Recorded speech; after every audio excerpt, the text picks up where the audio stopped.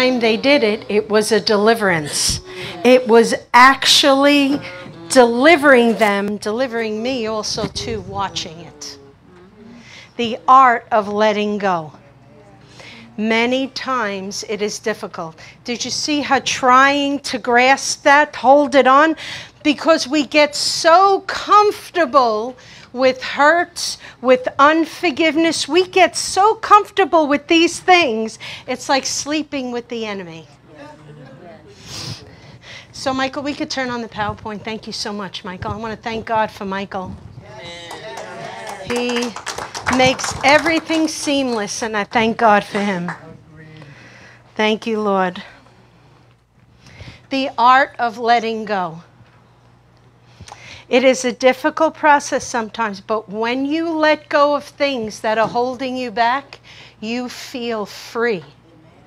When I first looked at that storage unit, and I'm going to show you a picture of it, and, and Bill knows because he, he helped me, and Apostles gave us permission to do it. When I looked at it, I said, Lord, how am I going to sell? I didn't say get rid of, because in my mind is business. We could sell it, okay? How am I, some stuff we gave away. How am I going to empty this out? it was packed with, and there was a small row in the center that you can get to the back. But the back was also filled too. And little by little, step by step, one step at a time, we got rid of everything. And I'll show you a picture of it when um, uh, it's at the end of my PowerPoint presentation. The art of letting go. It is finished. Now, I want you to see this for a minute. I don't know if you can see that. You see that guy there? He's wrapped up in a snake. Where's the head? Can anybody see where the head is? Where? No, there is. Look at the arrow. It's under his feet. Oh. So many times we feel like we are being strangled by things we need to let go of when all he had to do was shrug his shoulders. There was no head holding that on. There's no power in the enemy unless we give him permission. Okay? God is a God of wisdom. Satan is the God of stupid. I'm not trying to minimize his power, but the only power he has is if you give it to him. If I give it to him. Okay? You can go to the next one. Okay. That is a scripture, Philippians. That'll be through the whole thing that we do today. Okay. Um, is anybody having a hard time seeing that? With me here? You just got to look past me. okay, go to the next one. Okay. Today we're going to be talking about a mindset. A mindset that keeps you fixed in the past or keeps you growing in the future. Next slide. This was so profound to me when Holy Spirit said this to me. What or who are you fueling from your past that is destroying your destiny? fueling, which means you walk up to the pump in your mind and say, My father, my mother, my husband, my society, where I grew up, told me that. So I'm fueling it by thinking of it. Just like that storage unit, 170 something dollars. The Jewish in me hated that. When it would come to the presbytery meeting, I would say, We're paying $175 for stuff that we haven't used. It, it just bothered me. It was like throwing money away. Do you ever notice in Pasco County how many storage units there is? Yep. Yes. Every corner has a storage unit. That is a prophetic sign that we are holding on to too much. I could see using a storage unit for a couple of months until you get your house ready. But when stuff is in a storage unit laying dormant, it turned out that there was mold through that whole storage unit. Gail and I had to wear masks to go through that stuff. When we let stuff go and do not let it go, when we let it, when we, when we procrastinate, and not and i'm not saying apostles procrastinated because they had all intentions of bringing that stuff out okay this is nothing against apostles this was just a conviction because holy spirit said if you do not let go of that how can you ask me for a new building so i was on a mission from god my business went dormant for three four weeks didn't sell any furniture, didn't do any furniture, just focused on this. I think Apostle called me like a bulldog or a bulldozer. I don't know what it was. Yeah. it's all right. I've been called that many times before. Pit bull, sumo wrestler, you name it. It's a, it's a compliment. what are you fueling? What or who are you fueling? from, that's right, Kathleen, from your past that is destroying your destiny. Because when you're listening to the past, when you're looking towards the past, you cannot see forward. See, letting go will not be so hard if you know what's ahead of you. Then I know everything else is excess baggage. baggage. And excess baggage weighs us down. Okay, you can go on to the next one, Michael. Oh, this was so. Can anybody can everybody see this? There's a gravestone, but then there's a guy sitting in a grave. He dug that up. Let me move over here just a tiny bit. Okay? Every time you listen to what your father said to you, natural, your husband, your mother, your society, your school, your education, every time you listen to them above the Word of God, you are digging up a grave. You are digging up and making that grave more valid than the now Word of God. So when you have in your mind, well, my father told me, which he didn't, my natural fault, you'll never amount to anything. But even when I was doing karate, you are way too heavy to be able to do karate. No, I had a heart to do it. I was not going to dig up. So in my mind, I kept on hearing, you can't do it, you can't do it, you can't do it, you can't do it. I was digging up, I was taking a shovel and digging up all that stuff from the past. This guy got arrested for digging up a grave. He really did. You see the police officer? It's against the law to dig up a grave in the natural.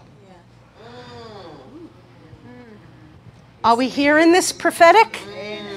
It is against the law to dig up a grave in the natural. So, what gives me, you, permission to dig up a grave in the spiritual? We should be arrested. Actually, we are. When we do that, we pick up those chains that Carolyn was describing. You notice she didn't want to let him go? We get so comfortable with our unforgiveness. We could be have unforgiveness from 40 years ago that our father said to us. The man is dead and gone.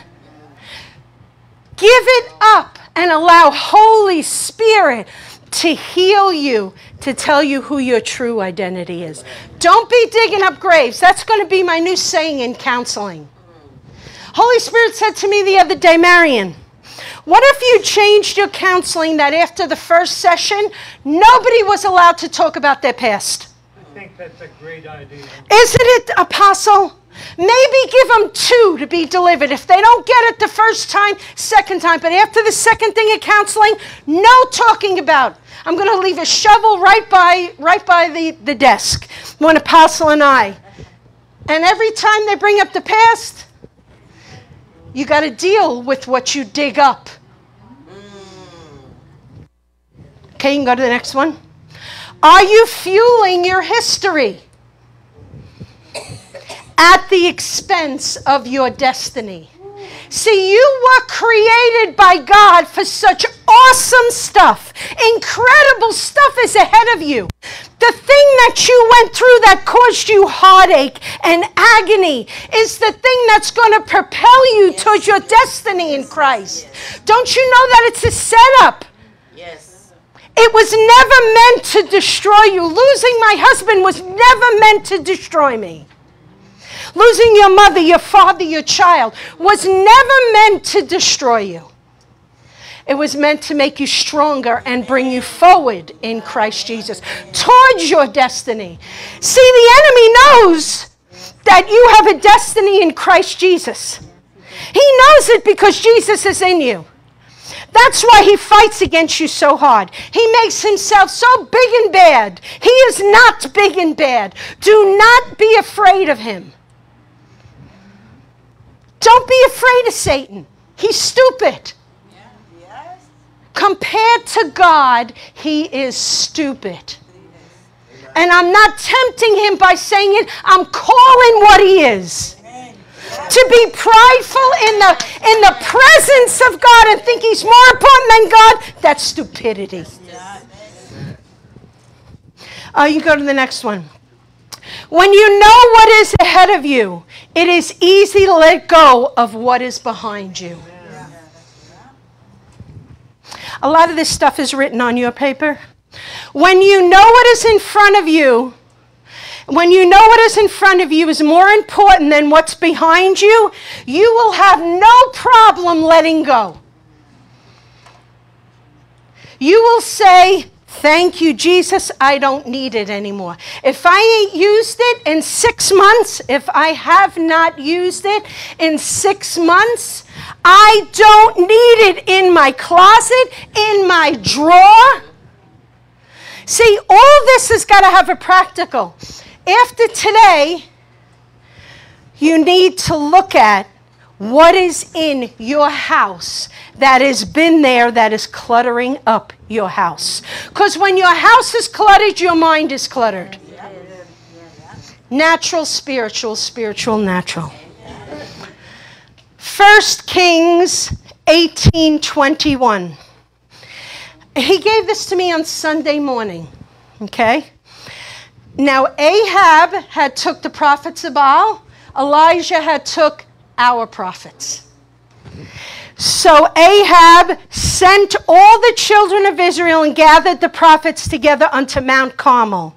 And Elisha came unto all the people and said, How long halt ye between two opinions?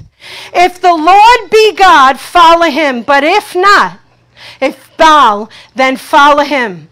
This was, this, I never saw this before in this scripture. And the people answered him not a word. Do you know not answering not a word is a decision in itself? Right. Indecision is a decision that says no. Wait a minute. That's why procrastination is so deadly in the kingdom of God. Because it's delaying the manifestation of his glory upon this earth because we we, we become afraid. You can go to the next one, Michael. Thank you, Michael. I'd like to go to Samuel 9. And this is a scriptural example. It's Old Testament. There are many in New Testaments, and you have those scriptures on your paper there. Yes. Now, this, this um, scripture is about Saul. Now, we all know about the bad guy Saul, okay? That he did a witch, he consulted with a witch, whatever. But this is how he started. He started with God, and pride came in. One of those boxes, one of those things we hold on to. Okay, so nine. Um, so I'm just, Saul was, it, was a choice young man. He was a mighty man of power, it says in verse 1 and 2. it says, Among the children of Israel, there was not a goodlier person than he. From his shoulders upward, he was higher than any of the other people. So this was a really, really great guy, integrity, character, and everything. His father had asses, donkeys. Okay, if asses offend you, it's in the word. King James. So, so he he loses the asses, and his father sends him and a servant to go find the asses. He goes, and you'll see from um, verse 4, 5, 6. He goes into every city looking for these asses. And Holy Spirit said to me, Marion, how many things do you go from place to place, emotion, emotion, day to day, looking for something that is right there in front of you? See, he was so focused on the asses, he was so focused on that mission that God underlying had a mission that was so far greater. Because he met up with the prophet Samuel. See, devastating things in your life lead to prophetic destiny. Don't get lost in the devastation. Stop pitching your tent in the dev. Stop getting a storage unit with boxes of stuff. Not physical stuff, but could be physical stuff. Okay? I remember when I was going through my house, I had this big picture of Mark and I on our wedding day. It was absolutely gorgeous, it was gigantic. And I looked at it and I put it aside to save it. And Holy Spirit said, What are you saving it for? I said, It's a beautiful picture. I had other beautiful pictures. He said, Can you throw it away? I said, Why? I said, that is, that is such a beautiful picture. He said, Take a picture of it with your phone and throw that picture away. So I still have the memory, but I don't need the thing.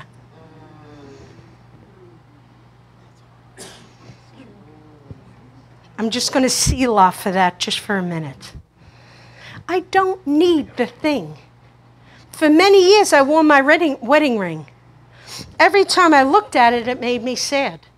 It was a thing. It wasn't my covenant. It wasn't my husband. So, Holy Spirit told me, I'm not saying that to anybody else, He told me, it's time to take that off. And that's what I did. That's personally for me. He speaks to me different than He speaks to you. Okay, and that's not a condemnation to anybody. Okay? Um, go on to the next one, Michael. Thank you so much. Okay, some nuts and bolts. How do I know when I need to let go of something or someone? It's on your paper also, too.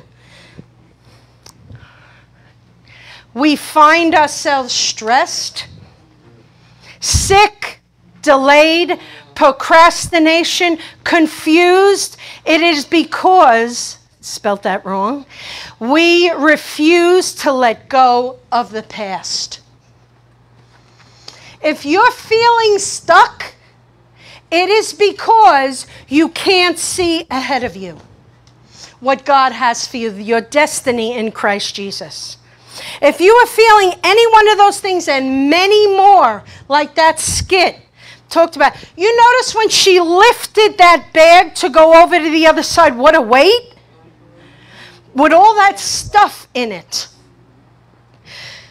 Listen, there's not a bag big enough to hold your stuff.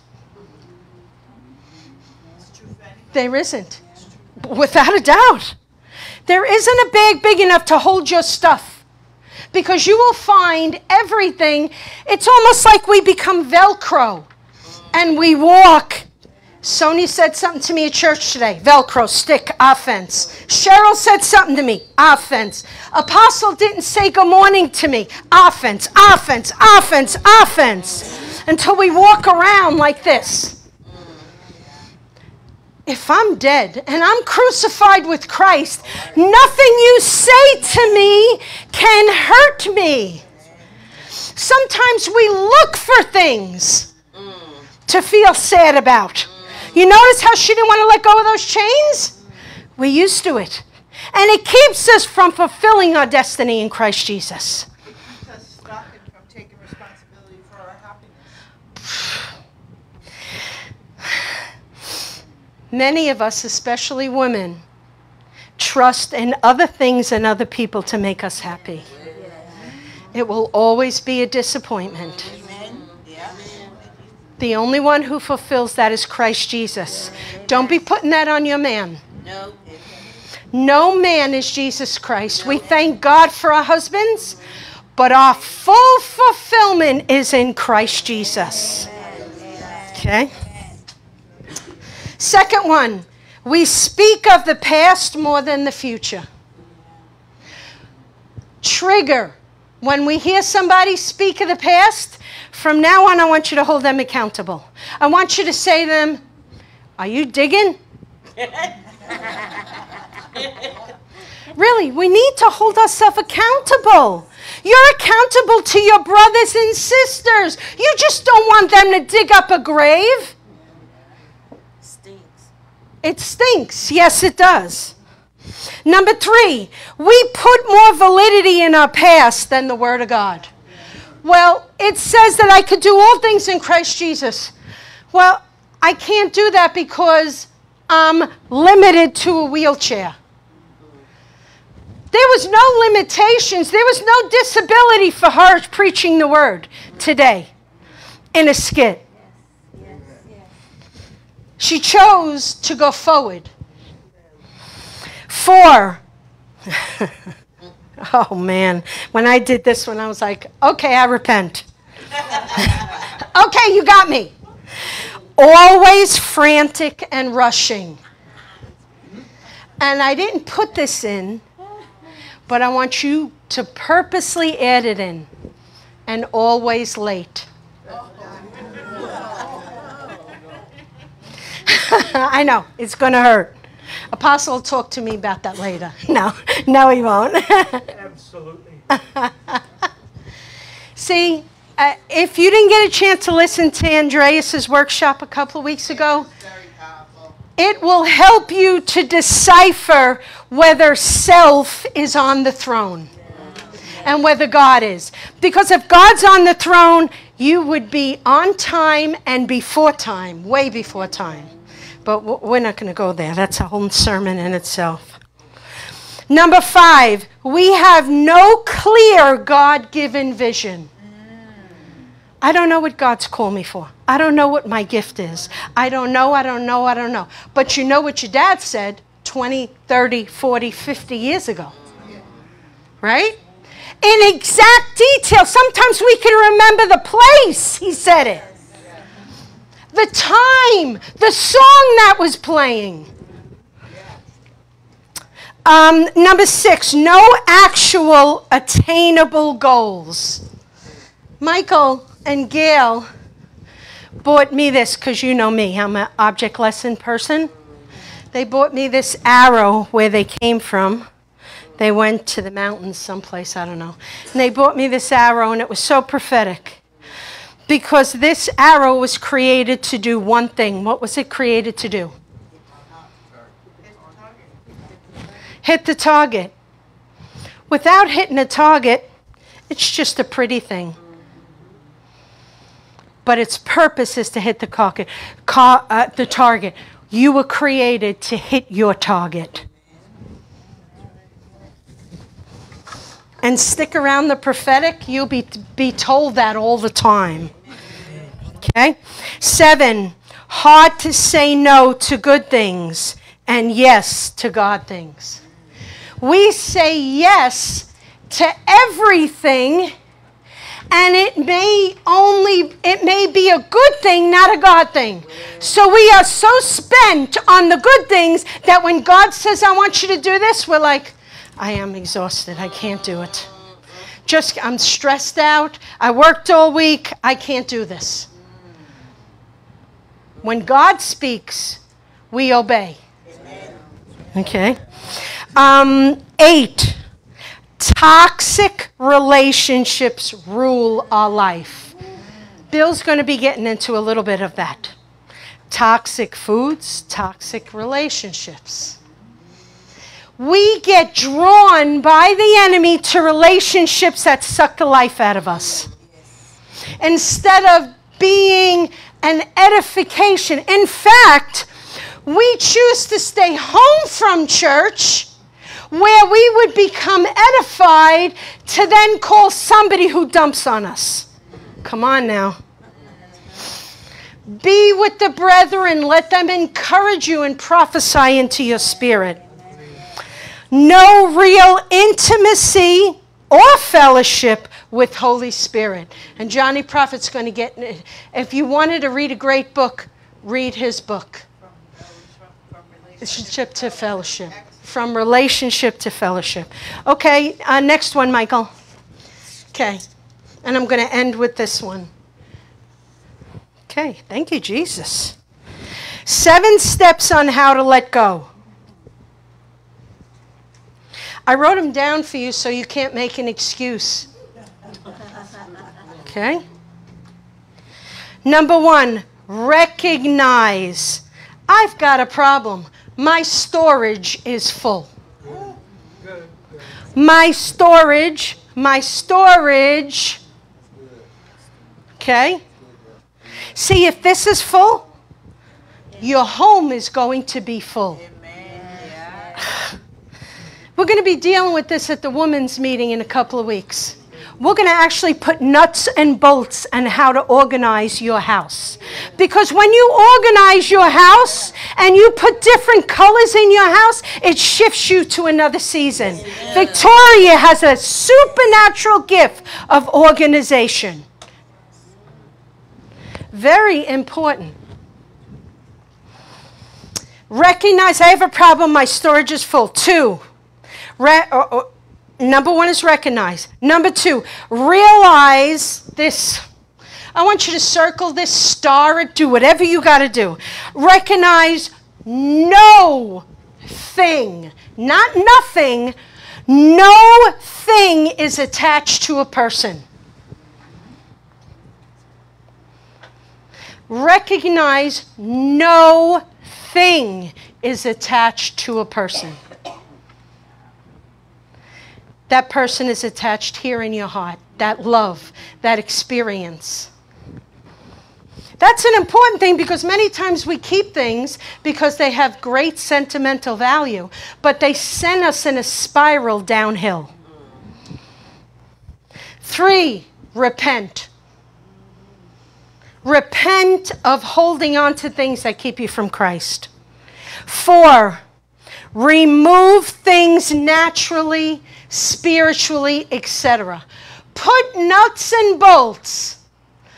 Actually, do. When you go home today, after this, pick a drawer in your house that is cluttered. The bottom of your closet, if things are thrown and things are not organized on the bottom of your closet, just take 15 minutes that's all it takes. It's not a life changing event, but it is. Take 15 minutes and it'll shift things.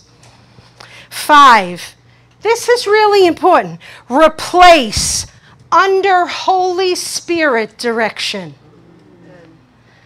Don't replace it with your old stuff. It would be like me now going over to Apostle's house and putting everything back in storage again whatever they have. They, all their furniture, the whole house back in storage. Isn't that idiotic? Some things need to be gotten rid of, or sell them, or bless somebody else with them. Six, rejoice in the process. Thank you, Lord, you are delivering me from this. Thank you, Jesus. Don't allow it to be so momentous that you cannot function properly. Rejoice. Seven, this is really important. Repeat it in every season. I can't tell you how many times I've decluttered my house. And I only got an 800 square foot condo that came from a three bedroom, 1,400 square foot house. I am constantly decluttering and getting rid of stuff that does not belong because I'm a new me. So that means I need a new place and I need wide open spaces because clutter causes confusion. Yes, it does. So repeat in every season that you're in. No matter what it is, repeat in every season all those process. All those process. There's some scriptures underneath that. First Kings with Elijah and Elisha, Matthew in the Garden of Gethsemane when Jesus said, Not my will, but your will. First Kings, halt between two opinions, and Romans. I am crucified with Christ. All during today, you're going to be hearing this over and over and over again. To let go of stuff, let go of people. And asking forgiveness is not for the other person, it's for you. Amen. Whether they receive it or not. So I'm going to call up Bill Merrill, and he is going to deliver a message, and he is going to speak about some of the, again, the nuts and bolts of letting go. Thank you so much for listening, and thank you for changing.